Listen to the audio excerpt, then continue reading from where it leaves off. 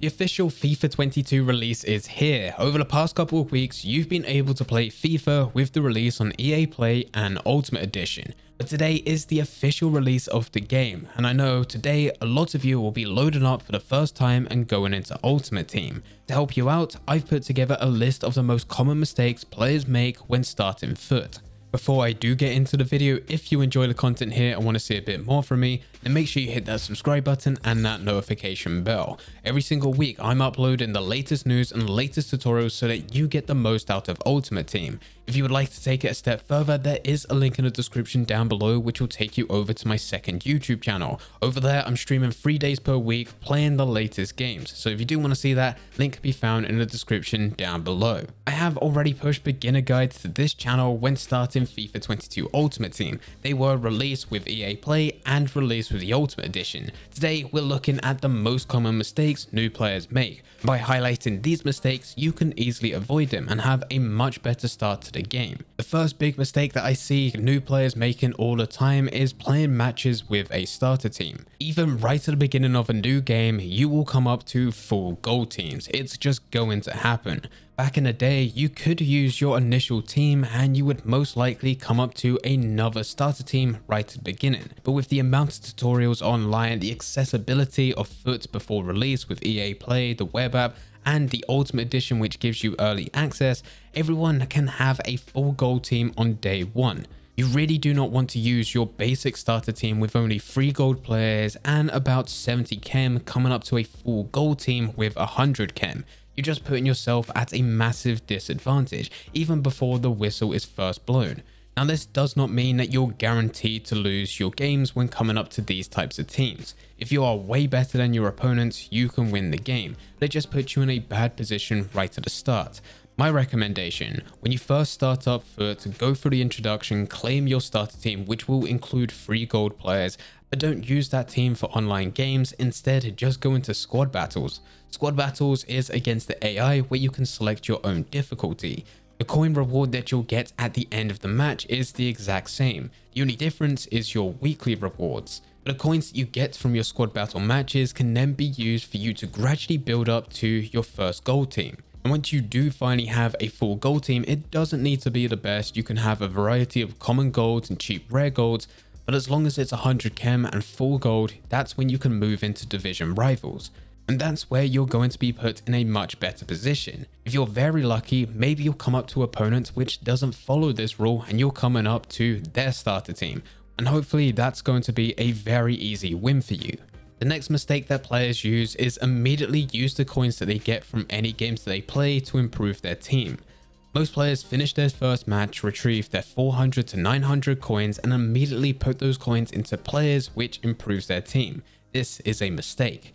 Yes, the goal for Ultimate Team is to build your Ultimate Team, but there's a better way to do things. You've managed to get some coins into your account after your first match and you're immediately putting those coins into a player. That player has not increased your earning potential. That player may improve your team allowing you to score more goals or defend slightly better or create more chances. But at the end of that match, you're still going to be earning 400 to 900 coins. And if you were to continuously do this with everything that you manage to earn from these matches to go straight into players, if you was to get a full gold team, it's going to take you 11 matches. And that's only if you're going to be aiming for the slightly cheaper common gold or rare gold players. If you're looking for someone of value, it's going to take a lot longer. The best thing for you to do is to play your first match. Get those 400 to 900 coins into your account. And instead of using those to buy players for your team, buy players to make trades. I always recommend trading at this stage because by doing it, you increase your earning potential every hour. There's already a few basic trading methods on this channel that everyone can use no matter if you've been playing FUT for the last couple of years or you're a completely new player. It takes no time and it takes no skill. With only 400 to 900 coins, you can't get a crazy amount of trades, but you can use the bronze trader method that I have shown on this channel and you can easily get 2 to 4 players that will give you a decent amount of profit once they sell. Once you use those coins to buy some trades and list them on the transfer list, that's when you can go into another match with the exact same starter team going into squad battles. At the end of that match, which will take around 20 minutes, you will still only get 400 to 900 coins from the match itself. But hopefully within that time, you've also managed to sell some of the players that you listed on your transfer list. Now you're earning coins from the match itself and you're earning coins from the trades. Now once you go back into the menu, you should have even more coins that you can buy even more trades with. And now you're starting to see how this just becomes a snowball effect. Every time that you do this and every match you play, you gradually get more coins which buy more trades and those trades give you more coins and those coins can be used to buy more trades as you're playing more matches. Taking this approach will put you in a much better position. You'll be able to build a much better team and it'll take half the time. Do this until you reach about 10,000 coins and then use those 10,000 coins to buy your first gold team and then go into your first online matches and division rivals, but carry on doing the same thing. After your division rival match, you get your coins, immediately put those coins into trades rather than into players. The next mistake that I see players making is only doing one thing. This is playing matches. It's crazy to me when I see people say they can't make coins in FUT. I ask, what have they been doing? And they reply with, playing matches. Playing matches is the center of FUT, but it's not the most rewarding and with the rewards you get, they're based on weekly payouts and there's no guarantee that you're going to get anything good, as it's all based on chance. There's so many other ways in which you can make coins. I've already briefly spoken about trading and this is my number one way to make coins.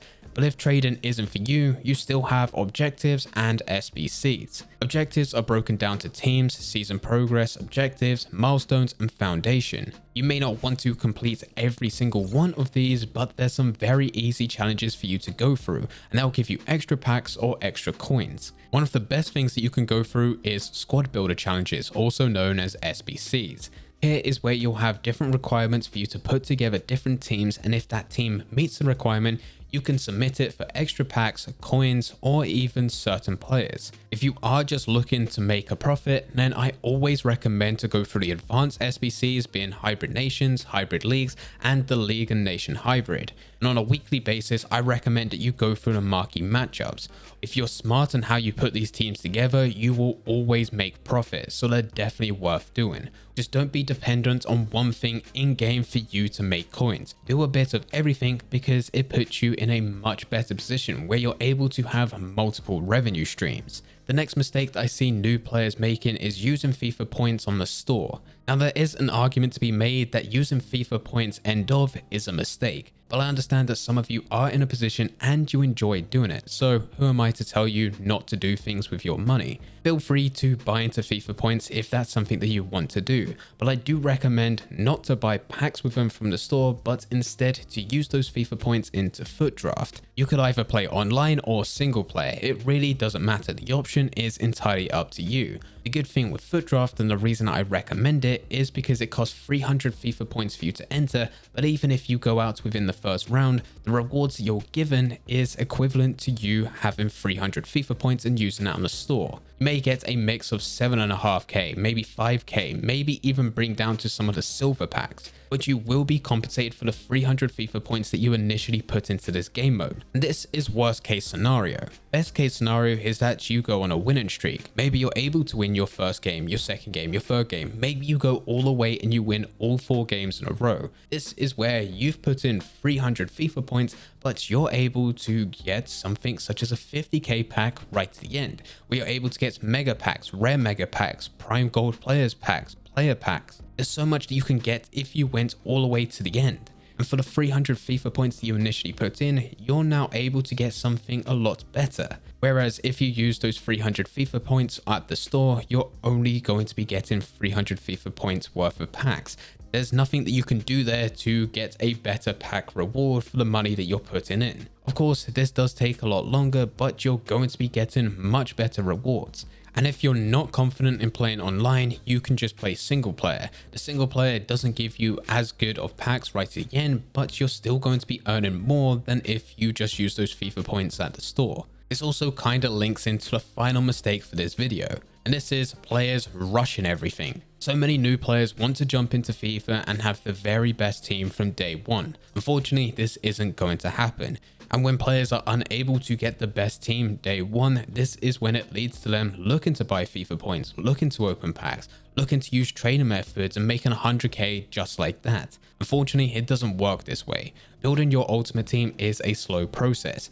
If you can build a full gold team 100 chem with just a couple hours of playing, then that's good progress. As long as you keep on making progress like this on a daily, weekly, monthly basis, or however many times you play this, then gradually you'll slowly be building towards your overall goal. This could be a certain team that you want to build, or it could be a certain player that you want to buy. I get comments all the time from players who watch one of the trader method videos, who try it out for 5 minutes and immediately come back to the video, go to the comment section and say it doesn't work. Which is weird considering I showed recorded footage of the method and me making a very good amount of coins. What they mean to say is it didn't work in a time limit I wanted. Trader methods can take a lot of time. If you're looking for the very best deals, you need to put time into the game for you to find those deals. You also need to give it time for those deals to then sell on and that is where you're able to make profit. With the trading methods that you see on this channel, they are edited down. There is no point to me showing you a two hour trading session. That two hour trading session is cut down so that it can fit within a 10 minute video and you're able to consume it a lot easier where you know what the trading method is, you understand why it works and you need to know what players to go out and look for but you won't be able to do that exact same method within 10 minutes and have the exact same results. Now this is just an example with trading because this is what I know, but rushing also goes across every other gameplay feature. You don't want to rush through different SBCs, take your time, see what you have within your club because you can make it a lot cheaper. You don't want to be rushing gameplay when playing either single player or online. This year, the gameplay is a lot slower. It rewards you for taking that extra pass, whether it be in defense, midfield, or an attack. I've realized that it works a lot better if you don't rush your gameplay and instead look for that extra pass for you to make an easier shot on target for you to get an easier goal. This could be an extra pass just to get closer to the net or an extra pass for it to be an open net. This is the gameplay that is rewarding this year. And it's also the same and kind of links back to some of the mistakes that we've talked about in this video. Not to rush straight into Ultimate Team and use your starter team to play online, when there's a much better way in which you can do this through squad battles, gradually building up, not rushing into buying the players for your team, but instead looking for trades and eventually building up those coins to then go and build your ultimate team. Not rushing into this game is a key component in every aspect of ultimate team. So by not rushing, you should be able to make better choices when going into gameplay and you should be able to make a lot more coins overall. Anyway guys, these are the 5 mistakes that I've seen players making already to begin their ultimate team and by knowing these mistakes and avoiding them, you should be able to hit this ground running. Start your ultimate team, start earning coins and gradually build to your team. The team that's going to take you all the way through division rivals, all the way through the champions players and all the way through the weekend league. If you do have any questions about anything, then please feel free to leave them in the comment section down below. But anyway, guys, I hope you guys did enjoy. If you did enjoy, don't forget to leave a like and subscribe. But for now, I'm going to see ya.